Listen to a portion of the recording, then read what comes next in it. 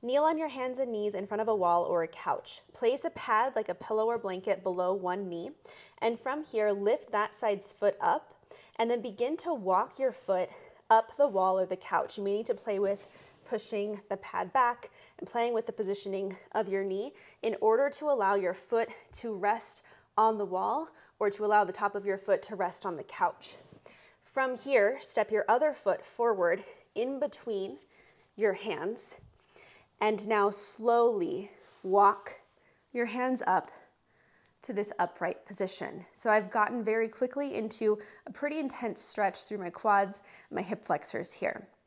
From this position, squeeze your glutes, tuck your tail, ooh, and wrap your back hip forward so that it's not opening out to the side.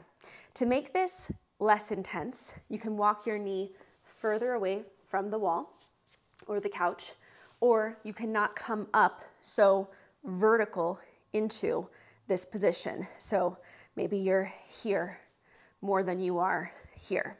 And to make it harder, you would do the opposite, right? You would get your leg closer to the wall or couch so that your thigh is more vertical and you would lift up even taller through this stretch. Keep that squeeze through your glutes. Breathe through this, making sure that you feel tension, a stretch, but not pain.